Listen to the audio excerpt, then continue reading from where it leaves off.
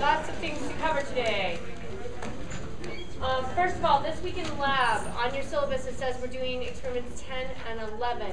The doing is experiment 11, so elimination reaction with your alcohol from last week. Experiment 10 discusses um, GC, which we'll talk about here in a little bit. But the actual, what you put in your pre-lab is experiment 11. And remember, your pre-lab should be unique to what alcohol you're starting with from last week, and therefore we're going to make unique um, products based on that alcohol. Um, you'll have a quiz this week. Your experiment 7 report is due. You'll be handing in your notebook, so make sure that you have your notebook all together, your conclusions in your notebook, ready to go. Also, um, as a little hint and reminder, at the end of each um, experiment, there's usually a paragraph or two that has information about what you should include in your conclusion. So make sure you read that over for experiment seven. Make sure you have all the pieces in there.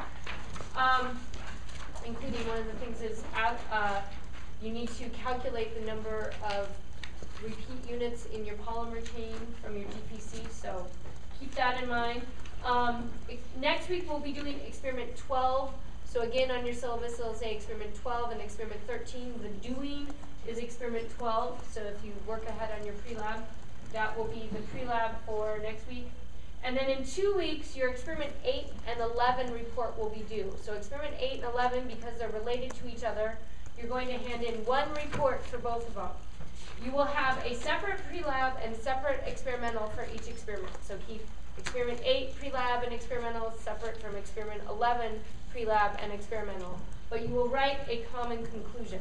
So make sure um, you keep all your bookkeeping correct for experiment 8 and 11, and then at the end, you will use all the GC data that you um, collect to write a common conclusion. Um, a note for next week, not this week, um, Open Lab Friday, so a week from this Friday, on the 15th, we'll be closing at 2.30 because there's a division seminar at 3, so keep that in mind if you need to use Open Lab a week from this Friday. And now, uh, registration notes for Chem 256. So, um, as you are registering this week for um, spring semester for Chem 256 lab, first of all, if you only need to take 231 lecture and you don't need Chem 256 lab, Chem 256 lab, don't register for Chem 256 lab because if you register for the lab and you don't need it, you're taking a spot away from someone who does. So don't register for the lab if you don't need the lab. Um, now, what that will make you do is you can't register for lecture without lab, so what you need to do is just go to the registrar's office, they will take care of the override and get you into the right lecture section. But make sure you do that this week so that you can get into the right time for what you need. For, um, or if it gets to the point that when you register, registration is full for lecture, get yourself on the wait list that you need, okay? For Chem 256 lab, if you do need lab, make sure that you register correctly for either one credit or two credit. Don't select the zero credit option. If you select the zero credit option, I'm going to think that you got into lab and you don't really need lab, okay? So pick one credit if you're taking it for one credit, pick two credits if you're taking it for two credits. If when you go to register the lab section that you need, so not you want, but you need based on your schedule, um, is closed, email me with what lab you need based on your class schedule and the reason you, or reasons you need that lab and how many credits you need to register for that lab, okay? Also put yourself on the wait list for that lab. So next week when I deal with wait lists, I can't handle wait lists for any person that is not on the wait list. So if you need a lab and email me but don't put yourself on the wait list, I still can't help you. So you have to be on the wait list and you need to email me so I need so I know what lab section you need to get into and why you need that lab section okay? Then I can put all the pieces together and get everybody where they need to be, all right? But make sure if you can't get into the lab section you need, you waitlist, email me with your information, okay? And do that right away because starting Friday afternoon, I'm going to start dealing with waitlists. So as soon as possible, if you get on a waitlist, send me the email. Don't wait till Monday night. Because by next Monday night, I will have waitlist all worked out and probably have sent it already to the registrar's office, okay? Alrighty. Um, and if you have any questions with registration, let me know too. A little bit of review from last week, what you guys were doing, um, and reminders for if you need to finish your fractional distillation. So experiment eight, we were making an alcohol, or everybody was making an alcohol, and you varied in aldehyde and alkyl bromide um, as to what you were putting in, into your reaction. In the end, you were making, there were four different alcohols that were being made, either 3-heptanol, 4-heptanol, 3-octanol, or 4-octanol. Okay, so it's what these possibilities with either R being H or R being a methyl group.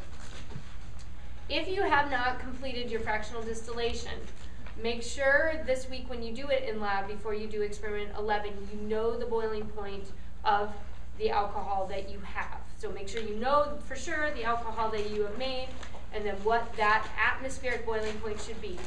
For the heptanols, it should be in the 150s. For the octanols, it should be in the 170s. Okay? So there shouldn't be anything that you want that boils under 100 degrees. If you find a boiling point that's lower than that, then what we need to do is use what's called a nomograph in the Aldrich catalogs because you found a under vacuum boiling point and we will approximate what that boiling point should be at atmospheric temperature. Okay? But make sure before you start the fractional distillation, you know what boiling point you, you need so you don't throw away something because you didn't distill it at the right boiling point. All right? Once you are done with the fractional distillation, there's two things you're going to need from your experiment 8 product. You're going to need to prepare a GC sample, and towards the end of the lab lecture, I'll tell you how to do that.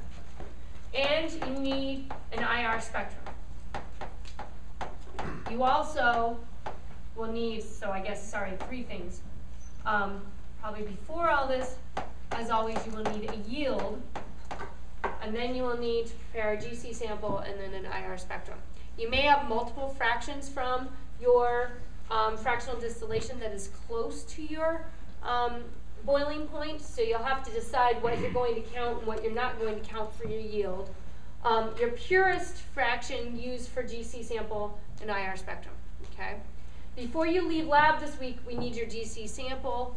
Um, for the IR spectrum, uh, you can wait to do that. Just make sure you set aside just a little bit um, to do that. And remember, you need a couple drops at most to do an IR sample, okay? So instead of delaying getting experiment 11 started, don't do the IR, collect the IR spectrum, wait, but make sure you've set aside just a little bit to do that, all right? So then once you have your alcohol, um, then we're going to go on and do experiment 11. So you got to keep, you're doing, probably doing 8 and 11 and things for both in the same lab period. So you keep things straight on both ends. And like, as I reminded you earlier, make sure you keep your experimentals separate too. Experiment 8 on separate pages from experiment 11. So then once you have your alcohol, then we're going to go on and perform elimination reaction. So if we pretend we're starting here with 2-hexanol for our example, I'm going to go through this mechanism kind of quickly because um, I've heard that you guys should know this forwards, backwards, upside down. So we'll just go through it quickly um, to remind you and help remind you for your exam on Friday. So we are using an acid, so we need to protonate our alcohol, and then we form this very fine leaving group, water,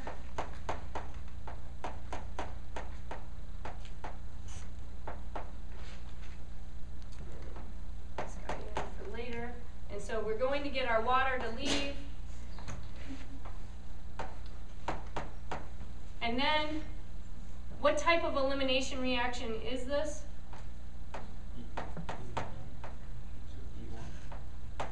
Why is it E1? You're correct. It left. What was that? It left without the.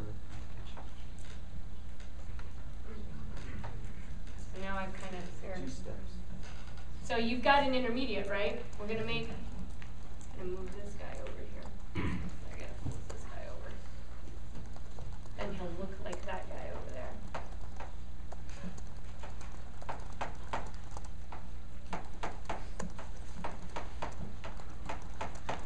So we've got our carbocation intermediate, right? And so it is an E1. If you have an intermediate, it's an E1 elimination mechanism. And so then from this, we can form a variety of products depending on what alkenes we make. So we can make our 1-hexene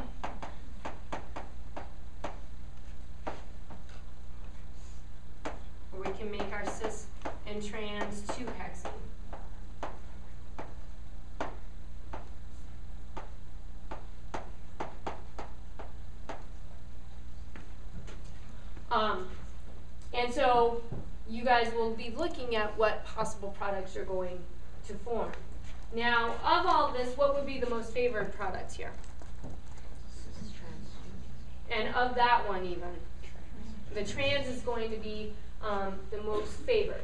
But that doesn't mean you won't see the other possibilities. So just because a product is more favored, you'll see more of it potentially, but doesn't mean that you won't um, see the other possibilities, okay?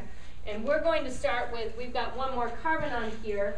So um, a predominant product wouldn't be a primary alkene, but there is a possibility that you will even see primary alkenes in your, in your um, product mixtures. So keep in mind that just because it's the predominant product doesn't mean everything in there is going to form in that manner. Um, now another thing to keep in mind, because it is an E1 mechanism, so we've got this intermediate, say we've got, we'll go back to our um, carbocation here.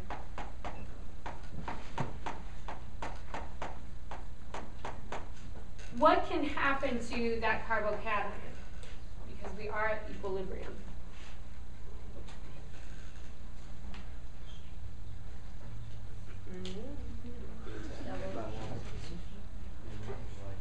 Hydride shift, right?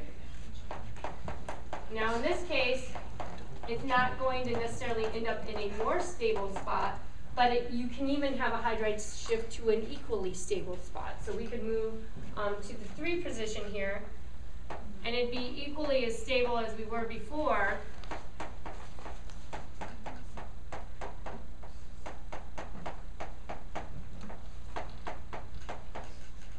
But it can happen because you are at equilibrium, okay? So don't be surprised if you see um, products due to rearrangement because of this hydride shift as well, okay?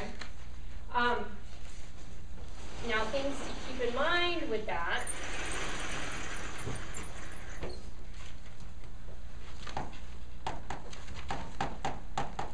Is Zaitsev's rule. So what did Zaitsev's rule say?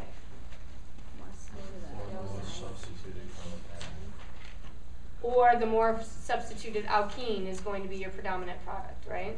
You're going to want a more substituted carbocation, which will lead to the more substituted alkene, okay?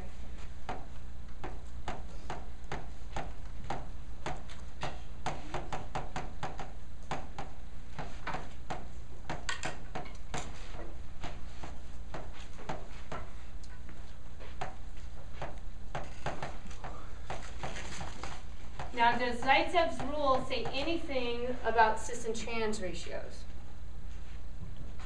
No. So just, I, I put that out there as caution.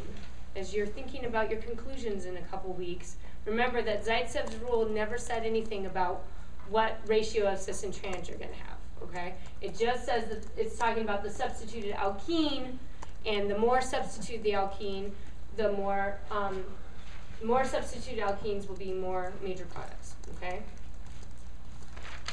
Um, so trans, like we talked about, um, will predominate over cis.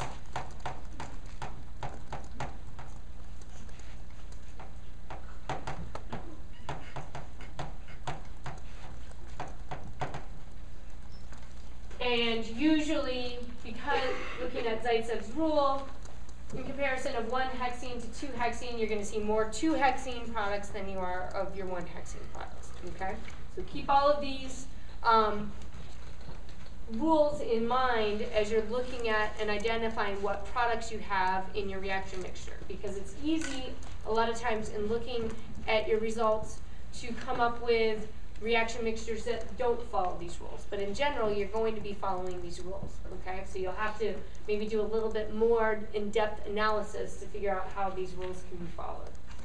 Um, Another thing to keep in mind is we use sulfuric acid for this reaction. We don't use HCl. Now, why is that?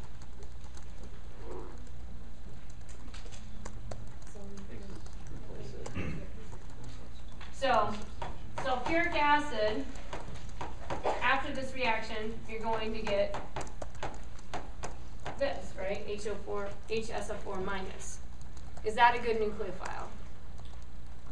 No. No, okay, which is good. We don't want a good nucleophile. Because um, if we have a good nucleophile, what is also a possibility instead of elimination? Substitution, okay? So if we use this instead, is um, Cl minus a good nucleophile? Yes. yes. And so we don't want to use HCl because we would get substitution and elimination or more substitution than elimina- elimination. We wouldn't get the predominant product that we want, okay? So that is why we use sulfuric acid, okay? And uh, we've got this reaction that is at equilibrium. We're using a good concentrated um, type of sulfuric acid, so just like, or molarity, just like you used last week, we've got our 9 molar sulfuric acid, okay?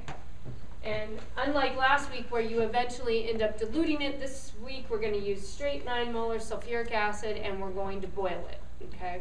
So be careful with it. Um, make sure you wear gloves. Make sure during the distillation you keep your hood sash down.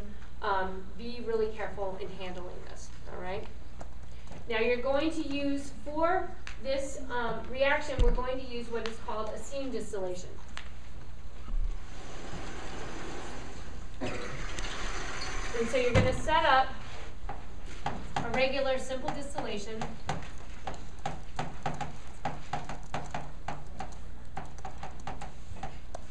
One thing you're going to do is you're going to collect all of your volume in a 25 milliliter graduated cylinder. Okay, so you're going to set up a simple distillation, but your collection vessel is your 25 milliliter graduated cylinder.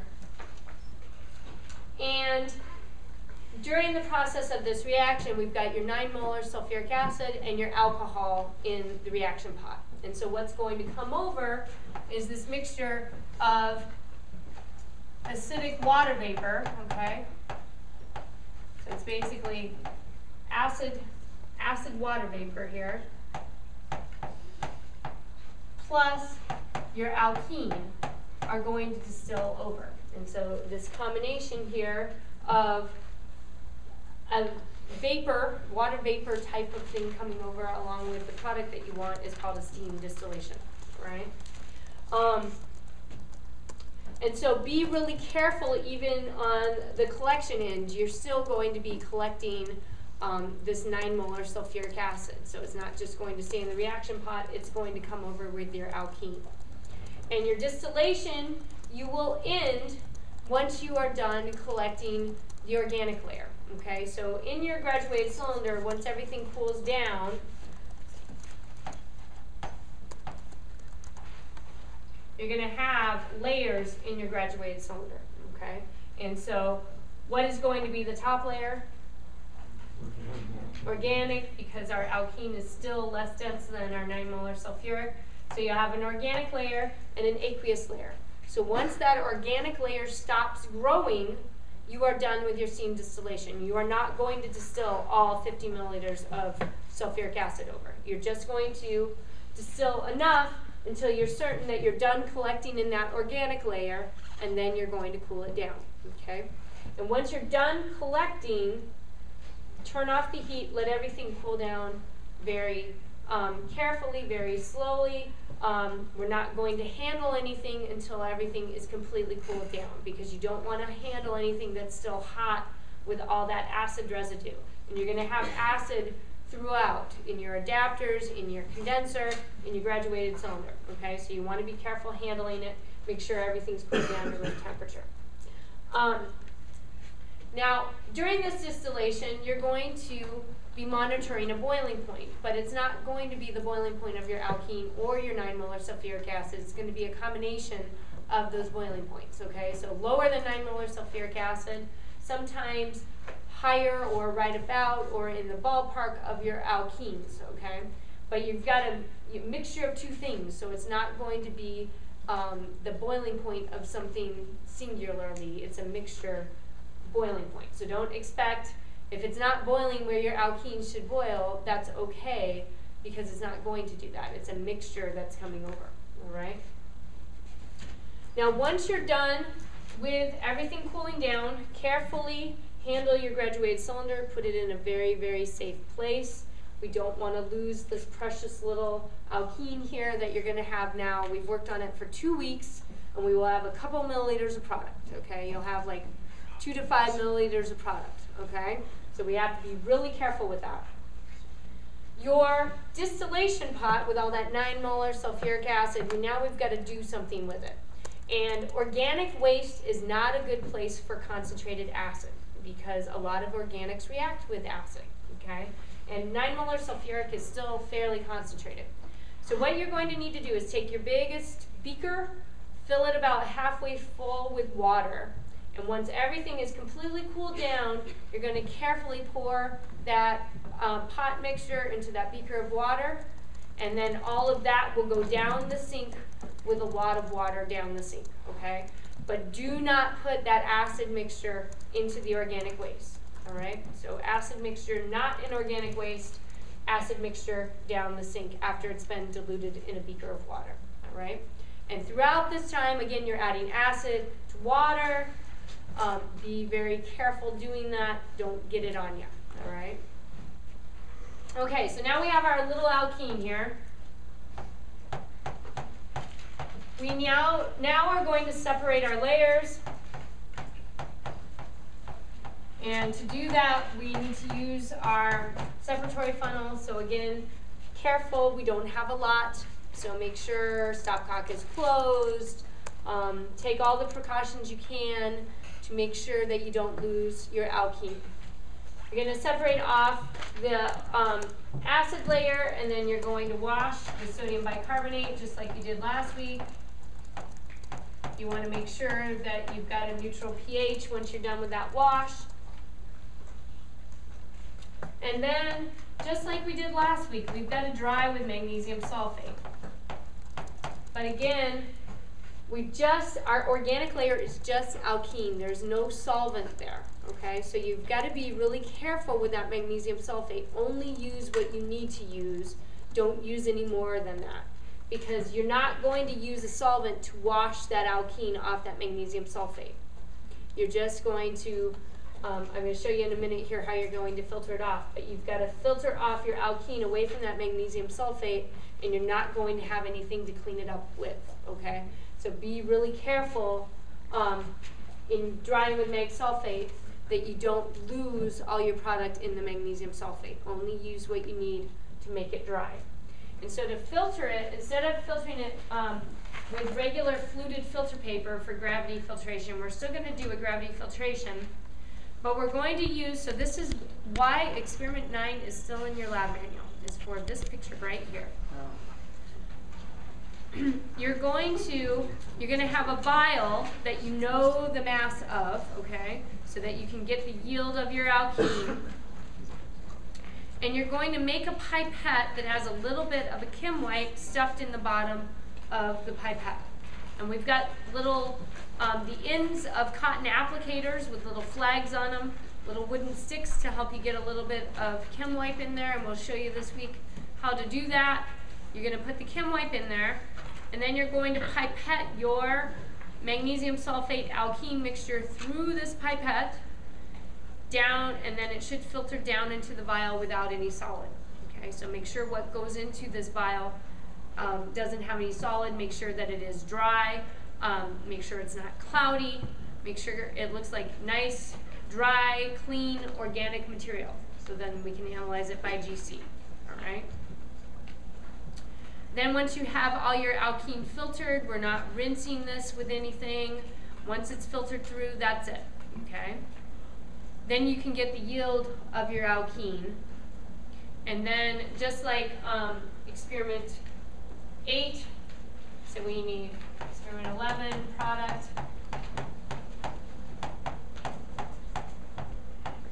You need the yield, and then you'll make a GC sample. And you'll collect an IR spectrum.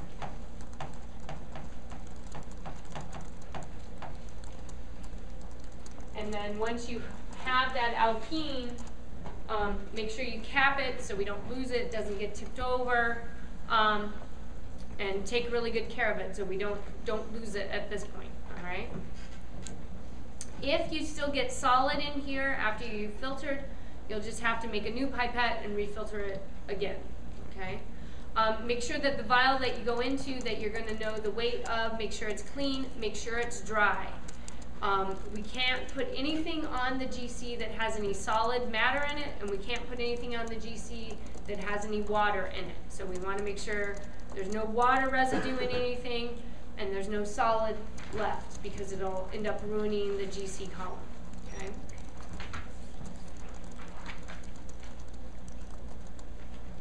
Um, another thing with your IR spectra from 8 and 11, just like with your unknown from experiment 6 and like your um, product from polystyrene, you want a standard IR spectrum to compare your data to what you made, okay? So you want to look up an IR spectrum for the alcohol that you made and an IR spectrum from, for the predominant alkene that you should have made. If you can't find a liquid neat IR spectrum for either your alcohol or your alkene, use something that it's closely related to. So like the alcohol, say you made 4-octanol. You can't find the IR spectrum for 4-octanol, but you can find the IR spectrum for 3-octanol. Use 3-octanol's IR spectrum to compare it.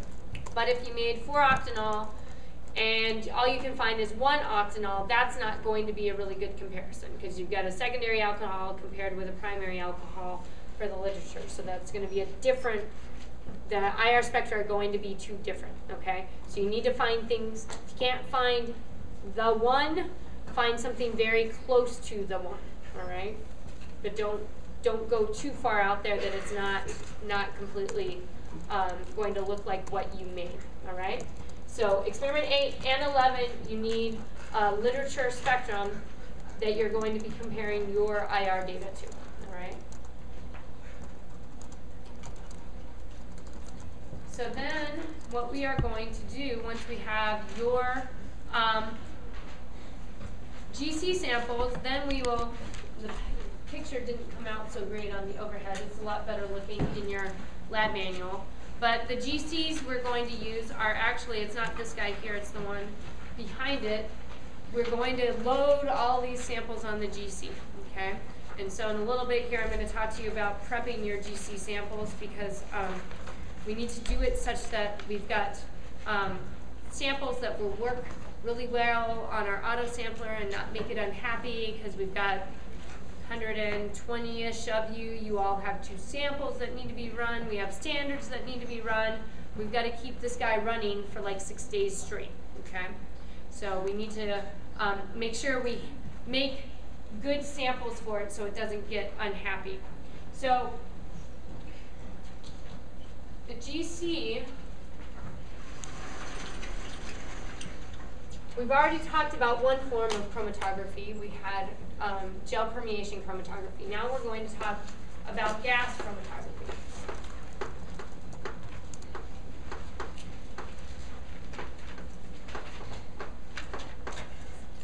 And we, um, what we need this for is to look at both our alcohol and what are all um, the impurities possibly in our alcohol besides just our alcohol. And then the alkenes, their boiling points are too close to separate even with fractional dis distillation.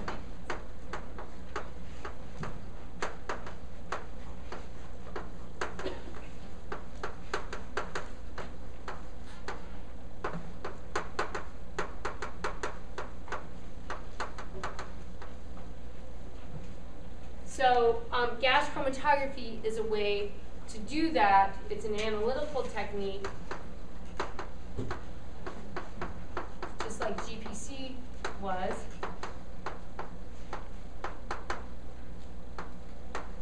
And what you get is a partitioning. So we'll talk about what this means in a little bit here. Of the sample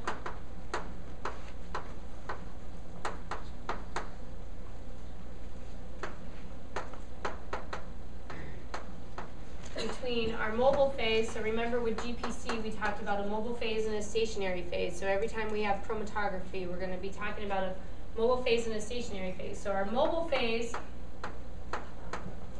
is a carrier gas. And our stationary phase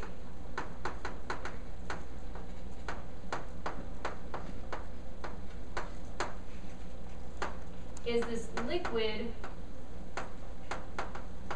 that is attached to the GC column itself.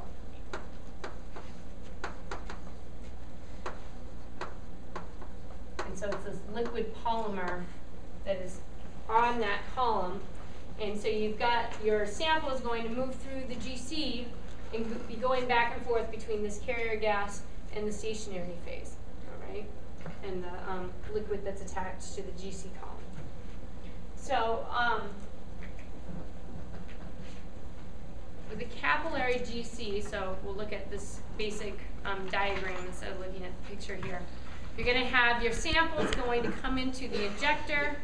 It's going to run through this column, and these columns are very long. They're very thin. It's called capillary um, GC because they are. They're like very, very, very thin. Thinner than your melting point capillaries um, is how thin that column is.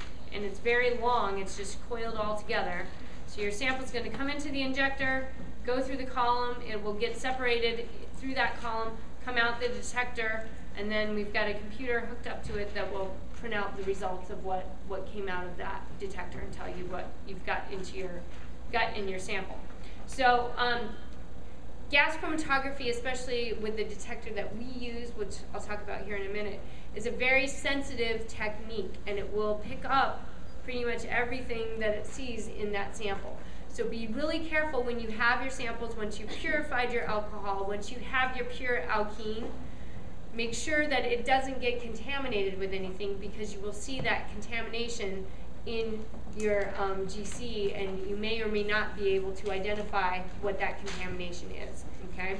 So keep, once you've cleaned up your samples, keep them clean. So the first part of the GC is the injector. So your um, the auto sampler is sitting up here, and then here's our injector. It takes a sample and then fills up needle with a tiny little bit of sample, and then it will inject it right into this injector. And what happens in this in this injector is it's very very hot, and it's got carrier gas traveling through it. Okay, so it vaporizes the sample right here at the injector. Then it goes down to the capillary column. And then as it goes on to the column, it's actually cooled back down. Okay, so it's like 200, 250 degrees here. And then it goes down to this column where it's like 40, 50 degrees. All right, but you vaporize the sample, travels down to our column. Then on the column, you've got this vapor coming onto your column that now has cooled down. And then you're going to, the oven that the column is in, you are changing the temperature of the column. So you've got this constant ramping up of temperature of the column itself. Okay? And so as it does that, it then vaporizes that sample again, and so you're going to get um, gas eventually traveling through that column or um, gas then separating out from what is left of that sample. So with GC, what we are separating based on is volatility of your sample. How volatile is your sample? The more volatile it is, the faster it'll travel through the column. The less volatile it is, the slower it'll go through the column. Okay? So when you get your um, chromatogram, you have peaks that have come off earlier and peaks that have come off later. Things that came off earlier were more, more volatile. Things that came off later were less volatile. Okay? And so as that column heats up, things start separating out based on their volatility. And so as it travels through that column, and again, it's meters of column, as it travels through that column, then you get good separation. And this is kind of like an in view, a very large, blown up view of the column. You've got the outer um, casing of the column, and then you've got the support here of the column, and then you've got this liquid polymer on the inside of the column. That is your stationary phase. And so you've got this vaporization and, um, and partitioning on the column based on how volatile that sample is. So the more volatile sample will spend less time going into the liquid, partitioning into the liquid of the column, and less time, or less time in the liquid of the column, more time in the carrier gas. The less volatile sample will spend more time partitioning in the liquid of the column, less time in the carrier gas. So that partitioning, as well as the volatility, is how you get that increased separation out of the column itself. And so the column that we use um, is for most part, the most part, a pretty non-polar column. So you're not going to really see a difference in polarity of compounds going through. It is just predominantly based on boiling points and volatility of the compounds as they're going through the column. Okay? And so in your lab manual, um, it gives you some structures and some compositions of different types of columns depending on what you need to use the column for. Um, you can use different columns based on their, what they are made up of. So here's some nonpolar columns. Here's one that's kind of intermediate polarity, and these are really polar compounds. So depending on what you're trying to separate out, you will use um, the columns for different things. Even though down here alcohols is listed, a relatively nonpolar column will work for what, what we're trying to do because the, col the alcohols are so much different boiling point from your alkenes, all right? And so for your pre-lab to help you kind of preliminarily try and figure out what, how things are going to elute um, for your GC traces, you should figure out what your major products are going to be from your alcohol in the elimination, and then look up the boiling points of those alkenes, as many alkenes as you can find, so you have an idea of difference between alkene boiling point and your alcohol boiling point, okay? So then once the sample has traveled through the column, it comes out into the detector. So there, we have to have a mechanism to be able to figure out what is coming off of that column, and that is called the detector. The type of, of detector that we use is a flame ionization detector, so this detector is very, very sensitive. It's a very good detector. So what you have is your sample is still in its carrier gas. It's just come off the column and it's now been separated out by volatility. So it's coming off based on that separation. So we've got this carrier gas coming through. We also have some hydrogen gas that's mixing with that carrier gas.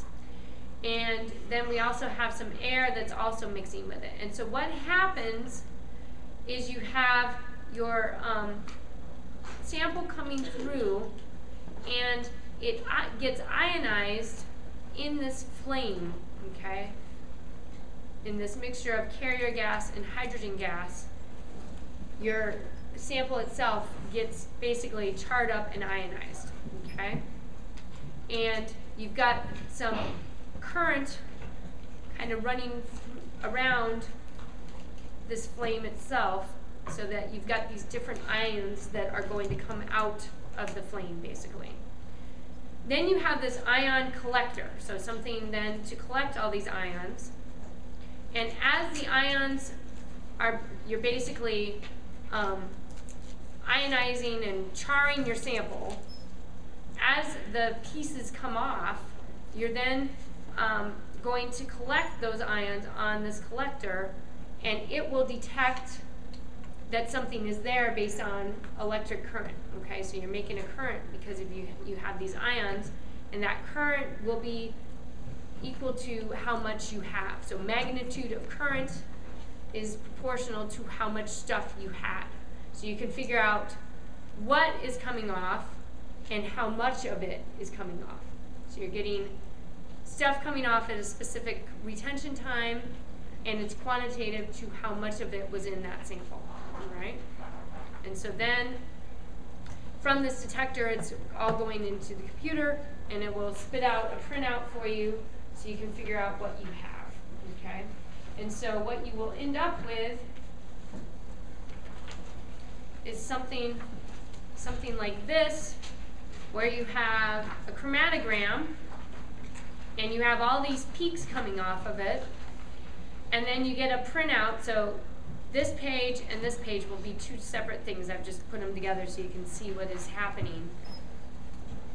So you've got things that are separated into these peaks, and then you have percentages based on what those peaks, what was in each of those peaks. Okay, so these percentages correspond to how much stuff was in there for each of those peaks.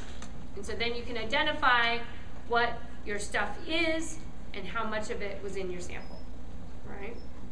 And so this is an example of an experiment 11 um, sample. So we've got over here was the alkenes, and over here is the alcohol. So there's that much difference in boiling point that you see minutes in difference of retention time. So you can definitely see the difference between alkenes and alcohol.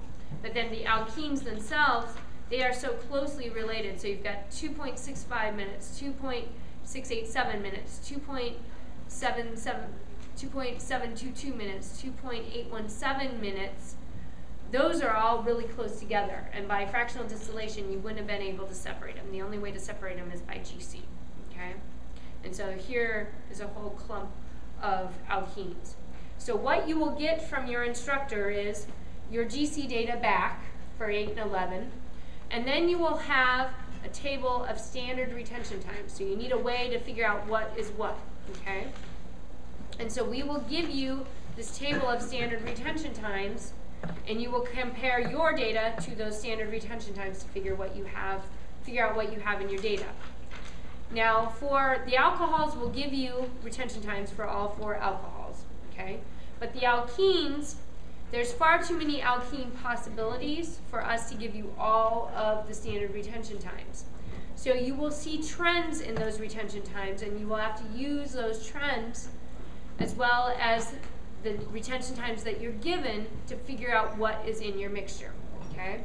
And so with this comes into play when I was talking about trans will predominate over cis. So usually if you have a, some, something that's a cis compound, you're going to have a trans compound with it, okay? And things that follow Zaitsev's rule. So you'll have to use all of those things to figure out what is in your reaction mixture, okay? As well as the trends in that GC data that you are given, the standard data. And then from that, you will figure out what is in your mixture. So for the alcohols, there's probably not going to be a whole lot. Okay, you'll have your alcohol, you may have some other impurities. Um, one thing you need to watch out for, and I talked about last week, is your alcohol can decompose to the corresponding um, ketone. So you may see a little bit of a compound that boils before or comes off before your alcohol. That's the ketone. But then experiment 11 will get more complex because you'll have all your alkenes in there.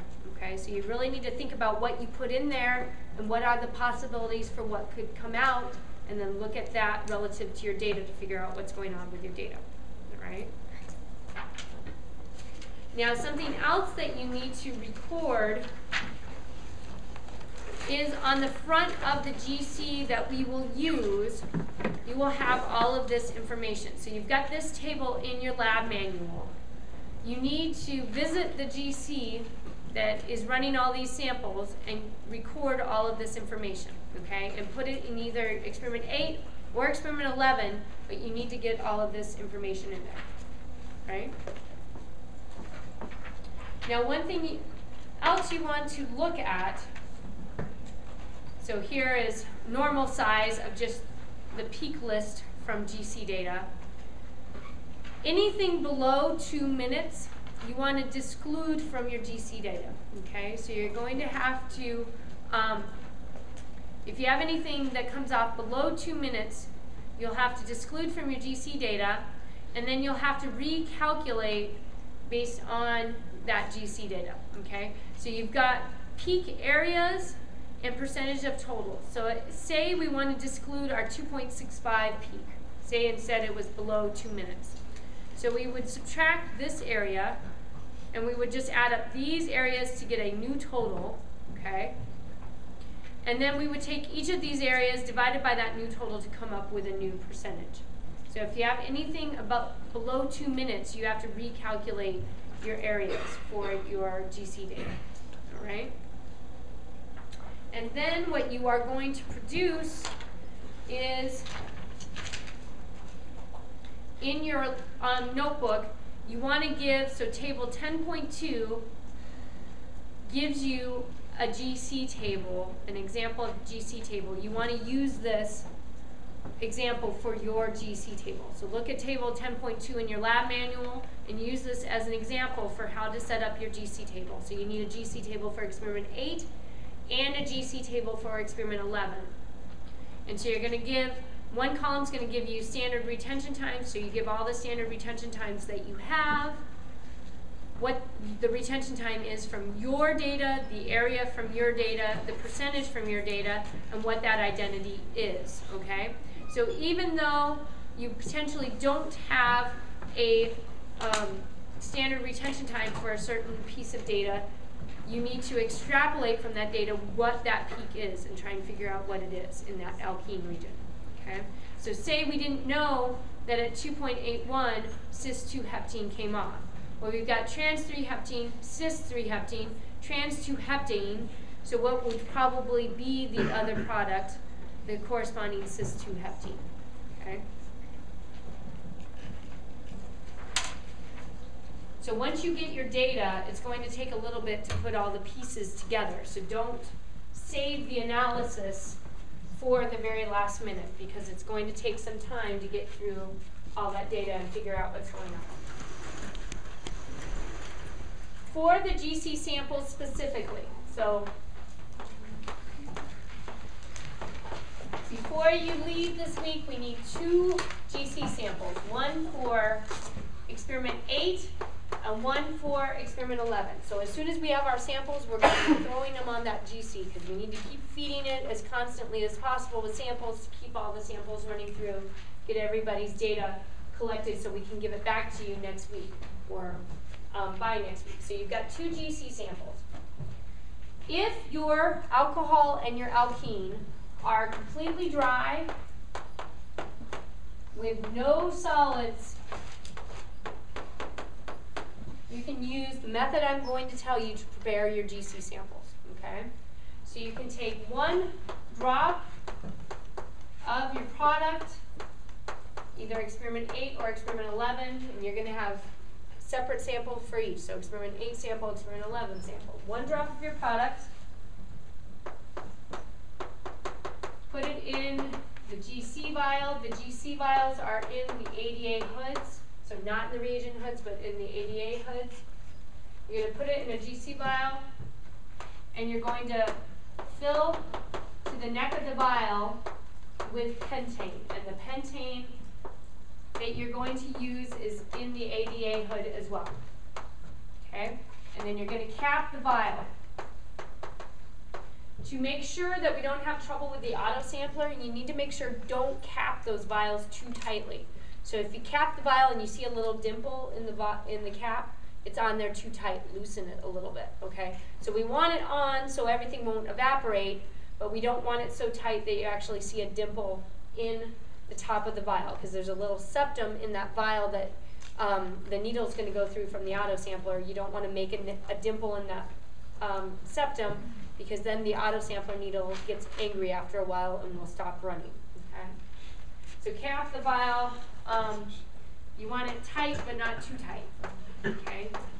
So no dimples. Then there's two things you need to do with it, okay? There's a sample block that you are going to put it in, in your lab. And they are per lab section, and you've got, so on the sample block, there's gonna be a row of numbers, and then two, um, places that you can put samples. So say we've got one, two, three, four, five. This corresponds to your drawer number, so find the row that goes to your drawer number. So if you are three A, you wanna find row three, you're gonna put, you're gonna put experiment eight in this first column, and experiment 11's GC sample in that second column, okay? Before you put your sample in there, we need to label it, label the GC vial, okay? And so you want to use initials and notebook page, so like TLS 40. That will be experiment 8. Remember, we're keeping experiment 8 and experiment 11 on separate notebook pages, so you sh- should have same initials but different notebook page for experiment 11. This is your file name for the GC, so you do want different file names. You want different things in it, okay? And you will put these in Sharpie on your GC vial. Okay, so label your GC vial, put it in the right place on the sample block, and then there's going to be a sheet of paper, and you're going to have your name, drawer number, and then you're going to have a place to enter your experiment 8, and then experiment 11 sample. So make sure you put, say we've got drawer three, we put in our name, we put in our sample numbers. Make sure that this is all legible because when I go to put things into the computer, I'm gonna take it from this sheet, okay?